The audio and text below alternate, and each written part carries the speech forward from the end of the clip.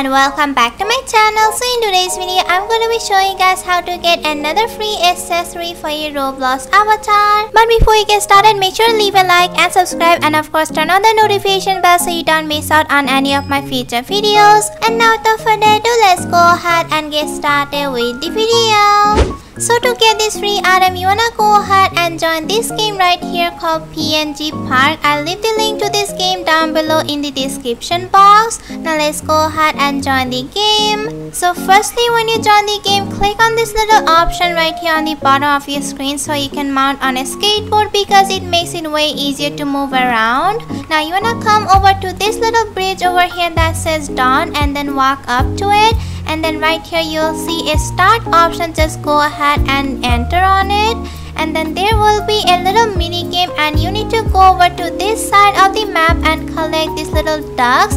They are originally like a little dirty so you need to clean them. You wanna come over to this soap area right here and clean the ducks. And then once it's done you have to like release them in the little lake over here. And some of the ducks will give you some points and some of them will give you like time.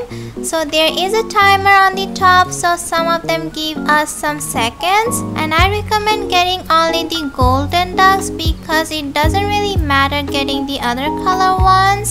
It's just way easier and you don't even need that much time to get to 600 points. So I got 600 points which is the requirement for getting this UGC item. So I'm just going to wait till the timer runs out. So after the mini game ended I got 3 badges so that means we got the free item. So now go ahead and leave the game and go to your Roblox inventory.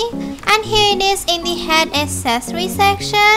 I think it actually looks really cute. It's like a little duckling with some soap bubbles I think it is super adorable so make sure go ahead and get it if you like this item. But anyways that's all for today's video. I hope you guys enjoyed. If you did don't forget to leave a like and subscribe. We are on the road to 80,000 subscribers so make sure to share my channel with your friends. And also don't forget to join my Roblox group and buy my merch for a shout out in one of my future videos. The link is down below in the description box so make sure to go ahead and check it out. And as always stay safe and healthy and I'll see you in the next video. Bye bubbles!